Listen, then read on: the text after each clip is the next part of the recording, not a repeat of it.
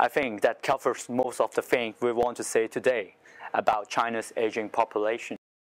Turning to my conclusion, I would like to summarize our main point. In our presentation, I have shown the effect and some solutions for the aging population problem in China. My partner Wing has told you about the major causes, the inconsistent population policies of the Chinese government, and the changing social phenomena.